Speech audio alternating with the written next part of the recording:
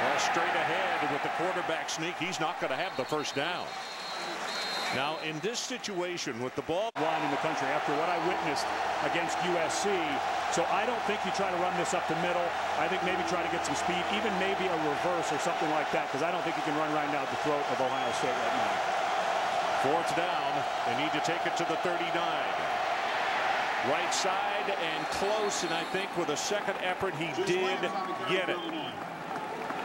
That's going to be Brian Rolle.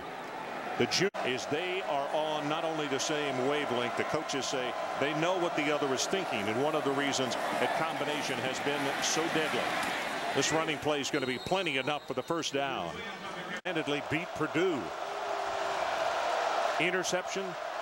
And what? Set punt up a block kicker. for a touchdown. Yeah, punt, touchdown, yeah. punt block for a touchdown. That's right. This running play will go for the first down with Dufresne. Again.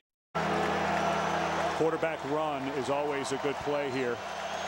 If you're going from the shotgun, you got two guys in the backfield, maybe one guy is a lead blocker.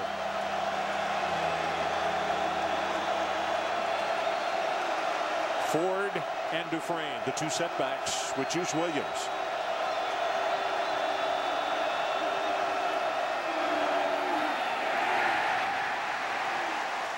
He's not going to have it. He is hard pressed to get back to the line of scrimmage, and Thaddeus Gibson was the most players are not quite that patient, Ed.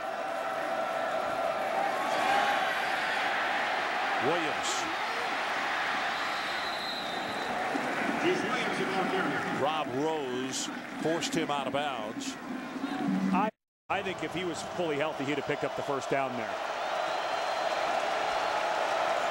Third down. Got to take it to the 45.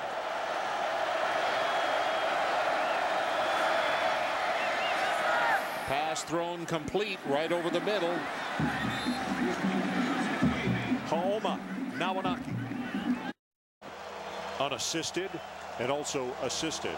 And he plays what they call the drop defensive end. When they rush three, sometimes he'll drop out. But at 240 pounds, the way he's been playing around the line of scrimmage, I wouldn't be dropping him out at all. He's got six tackles unofficially.